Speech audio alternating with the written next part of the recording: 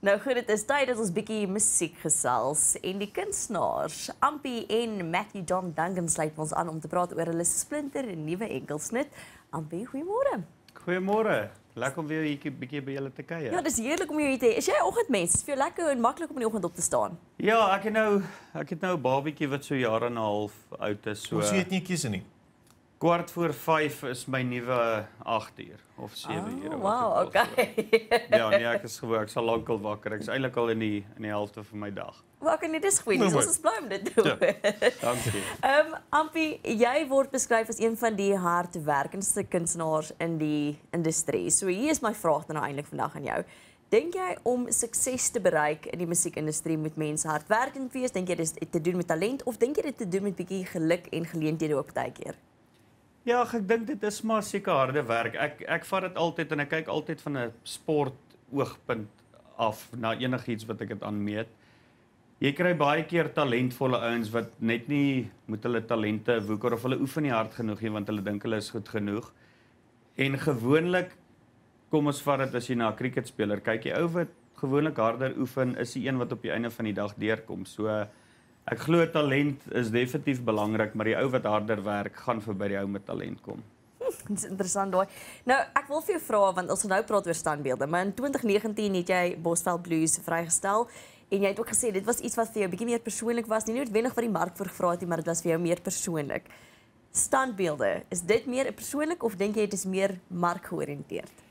Nee, ek dink jy is markgeoriënteerd nie. Ek ek dink ek is in die bevoordeelde posisie. Ek het nog nooit 'n platemaatskappy gehad nie. So ja. ek doen wat ek wil. Niemand sê vir my as ek as ek nie suksesvol is in iets wat ek doen nie, is dit nou maar my eie skuld. Maar jy weet dit is vir my 'n 'n wit canvas soos wat die Engelsmanne maar sê. So ja. elke keer ek voel maar in die tyd van my lewe, waar is ek? Wat voel ek wil ek doen? Ek het so rukkie terug vir my seentjie ook 'n liedjie geskryf, jy weet, en is maar 'n liefdesballade wat ook nie regtig dink ek op radio gespeel gaan word nie, maar dis fases van my lewe. So ek kies man, as ek voel is bietjie tyd vir 'n rock liedjie dan doen ek dit. As ek voel ja, kom ons probeer bietjie weer in die kommersiële ding in die mark en kom dan sal ek dit doen as ek so voel.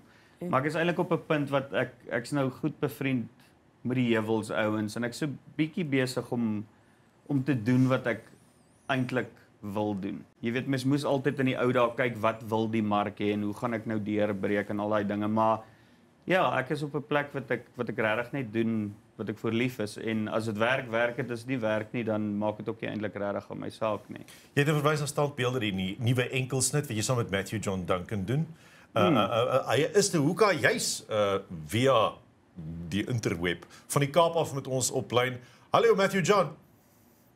Hey, so sê julle. Lekker, dankie, dankie. Hoor ons gesels net so lekker oor standbeelde. Ons gesels lekker met Ampie oor oor oor die feit dat hy sê standbeelde is maar 'n liedjie vir sy vir sy hart eerder as 'n liedjie vir die mark. Ja, as die mark daarvan nou is dit ook goed. Uh vertel ons 'n bietjie van standbeelde. As ek dit mis en jy lirieke geskryf. Yes, ek wil net sê ek is nie 'n oggendmensie. Um, as my my oë bietjie dik lyk, uh dit is maar hoe dit is. Um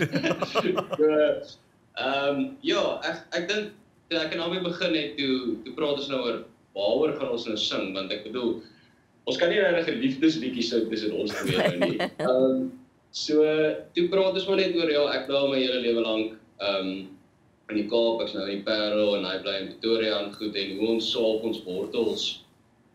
Maar al hoe dieper laat gaan dit hier by ons bly en eintlik raak ons 'n bietjie so standbeelde. Ons is nie meer bereid regtig om te skuif nie. Ons gaan nie sommer rond beweeg nie. Um, So dis eintlik maar waaroor die sang gaan. Ehm um, en dis hoekom ons dit so so maar metafoor, standbeelde, ons raak maar so bietjie soos soos die dinge soos ouer raak. O, so dis gaan dit gaan nie oor historiese standbeelde nie. Dit gaan oor jy raak amper so 'n standbeeld as jy daar bly staan op een plek.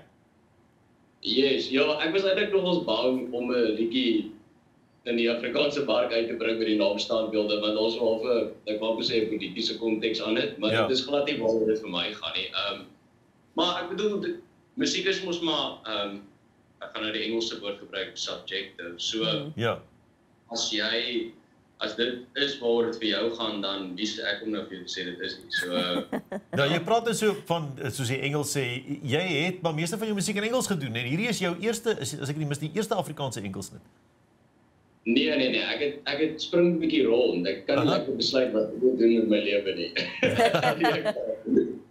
nee, ek het al ehm, 'n um, Engelse EP vrygestel. Ek het al so 4 4 Afrikaanse Engelsnitte vrygestel. Aha.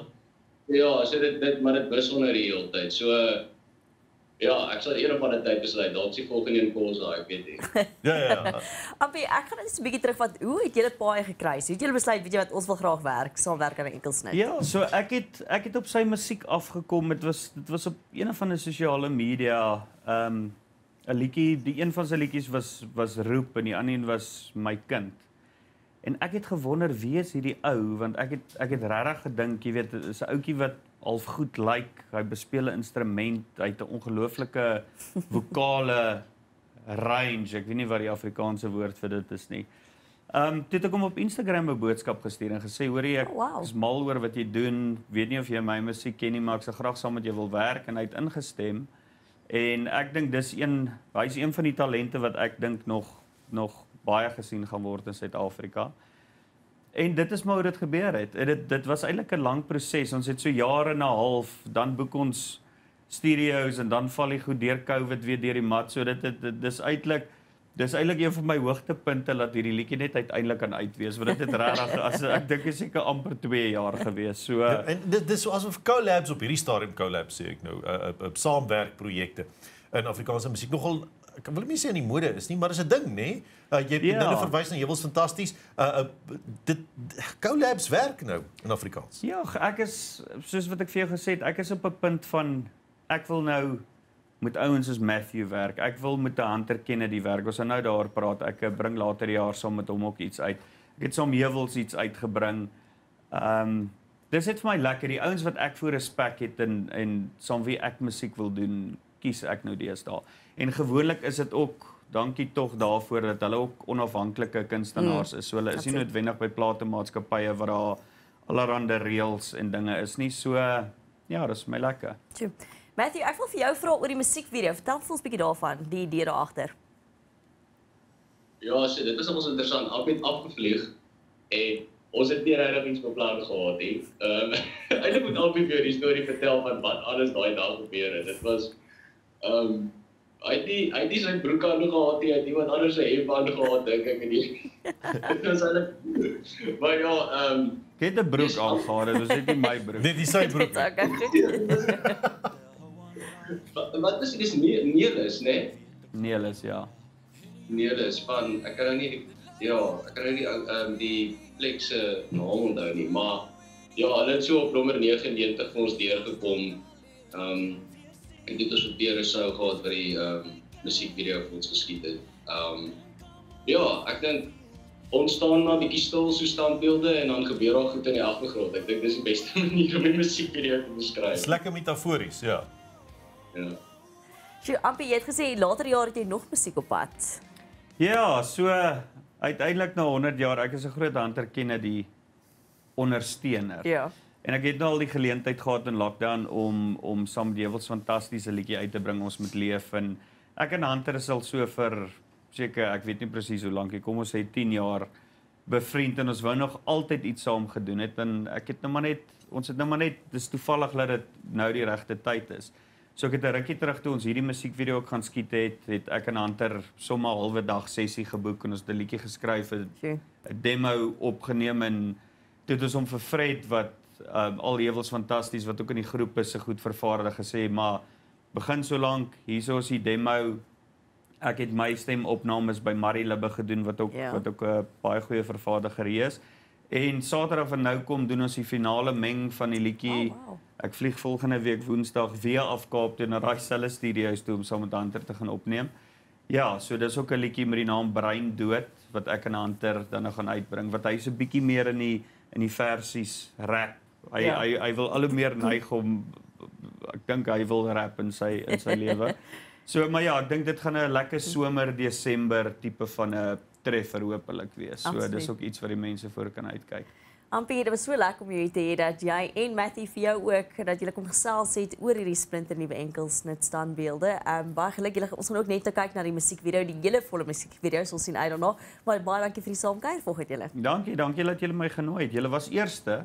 So baie Hey. dankie daarvoor. So ek gaan nie vir enige van die ander mense die geleentheid gee nie. Hierdie was 'n 'n once. 'n once off net vir Groot FM. Hey, jy sien dan nou. So, baie dankie ook dat jy 'n draai by ons gemaak het Matthew John. Dis eerlik om jou van Parel af by ons te hê. Ja, dankie julle, ek waardeer dit.